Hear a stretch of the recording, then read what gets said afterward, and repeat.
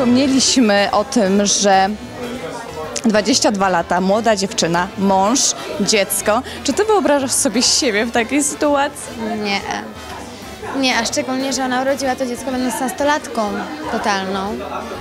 Jak ty w ogóle patrzysz na to, że tak młode dziewczyny podejmują w życiu takie, a nie inne e, decyzje? Czy ty masz w swoim środowisku właśnie takie koleżanki? Mam e, pewną koleżankę, która jest w moim wieku, ma dwójkę dzieci i na pewno to nie były przemyślane decyzje, na pewno to nie były zamierzone e, plany i tak dalej, ale z drugiej strony akurat ta moja koleżanka, która, o której mówię, jakoś tak weszła w tę rolę mamy, że jest super mamą i jakby wszystko jej się zaczęło układać, ale nie było łatwo na początku, więc właśnie z obserwacji takich osób i nie tylko, e, próbowałam wziąć jak najwięcej do tej postaci.